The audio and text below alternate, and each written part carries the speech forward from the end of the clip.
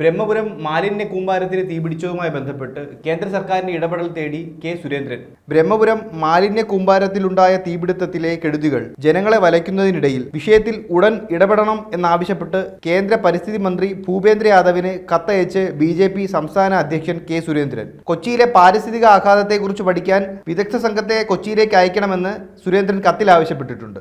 മാലിന്യ പ്ലാന്റിന് തീപിടിച്ച് ഒരാഴ്ചയിലധികം കഴിഞ്ഞിട്ടും കൊച്ചി കോർപ്പറേഷനും സംസ്ഥാന സർക്കാരിനും ഒന്നും ചെയ്യാൻ സാധിച്ചിട്ടില്ല എന്ന് കത്തിൽ വിശദമാക്കുന്നുണ്ട്.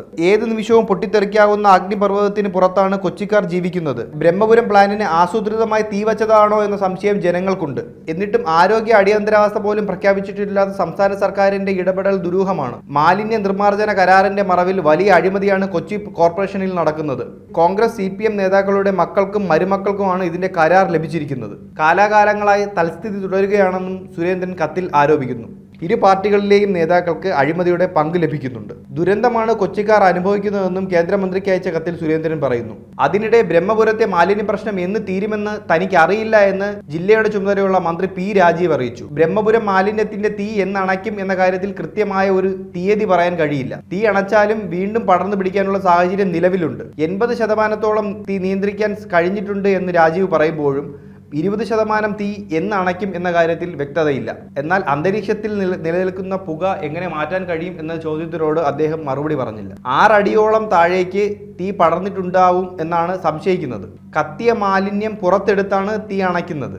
അതിന്റെതായ പ്രശ്നങ്ങൾ സ്വാഭാവികമായും ഉണ്ടാവും. നഗരത്തിൽ മാലിന്യ നീക്കം ആരംഭിച്ചിട്ടുണ്ടെന്നും കഴിഞ്ഞ ദിവസം നാൽപ്പതിലോട് മാലിന്യം നീക്കിയെന്നും മന്ത്രി വിശദീകരിക്കുമ്പോഴും തങ്ങളുടെ വീട്ടിൽ ശേഖരിച്ചിരിക്കുന്ന മാലിന്യം കൊണ്ട് വീട് തുറക്കാൻ കഴിയാത്ത സ്ഥിതിയാണെന്ന് കൊച്ചിയിലെ നിവാസികൾ പറയുന്നു. മാലിന്യം കൂട്ടിയിടുന്ന രീതി മാറുമെന്നും പുതിയ നിയമങ്ങൾ ഇതിനായി കൊണ്ടുവരുമെന്നും മന്ത്രി പറയുമ്പോഴും ഇന്നേ ദിവസവും മാലിന്യം അവിടെ തന്നെ നിക്ഷേപിക്കാനാണ് കൊച്ചി കോർപ്പറേഷൻ തീരുമാനിച്ചിരിക്കുന്നത്. മന്ത്രിതലത്തിൽ എടുത്തിരിക്കുന്ന തീരുമാനങ്ങൾ ഒരു തരത്തിലും നടപ്പിലാക്കാൻ സാധ്യതയില്ലാത്ത അവസ്ഥയാണ് കൊച്ചിയിൽ നിലവിൽ. തീ അണയ്ക്കുന്നതിനുള്ള പ്രവർത്തനങ്ങൾ ഏകോപിപ്പിക്കുന്നതിനുള്ള വീഴ്ച വ്യക്തമാണ് ബ്രഹ്മപുരത്ത്. ബ്രഹ്മപുരത്ത് കഴിഞ്ഞ ഒൻപത് ദിവസമായി പുകയുന്ന വിഷപ്പുക അതിഗുരുതരമായ ആരോഗ്യ പ്രശ്നങ്ങൾ ഉണ്ടാക്കും എന്ന് ആരോഗ്യ വിദഗ്ധർ അക്കമിട്ട് നിരത്തുന്നു. ദൂരവ്യാപകമായ ഭീകര ദുരന്തങ്ങൾ വരുത്തിവെച്ച റഷ്യയിലെ ചെർണോബിൻ ദുരന്തത്തിന് സമാനമാണ് ബ്രഹ്മപുരം തീപിടുത്തമെന്ന് പാരിസ്ഥിതിക വിദഗ്ധർ പറയുന്നു. ഏതാണ്ട് പത്ത് ലക്ഷത്തോളം ജനങ്ങൾ വിഷപ്പുകയുടെ ആഘാതമേറ്റിരിക്കാം എന്നാണ് വിലയിരുത്തുന്നത്. മനുഷ്യനിർമ്മിത രാസസംയുക്തങ്ങളിൽ ഏറ്റവും മാരകവും അപകടകരവുമായ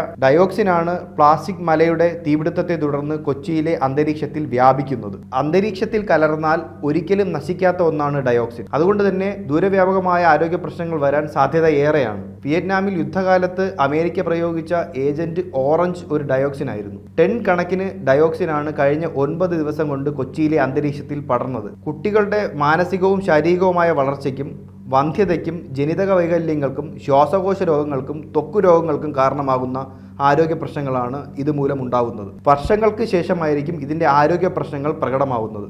അതുകൊണ്ട് തന്നെ ബ്രഹ്മപുരം ദുരന്തത്തിന്റെ പ്രത്യാഘാതങ്ങൾ അറിയാൻ വർഷങ്ങളോളം കാത്തിരിക്കണം. അധികാരികൾ വരുത്തി വയ്ക്കുന്ന ഒരു വലിയ വിനയാണ് ബ്രഹ്മപുരമെന്ന് പറയാതെ വയ്യ.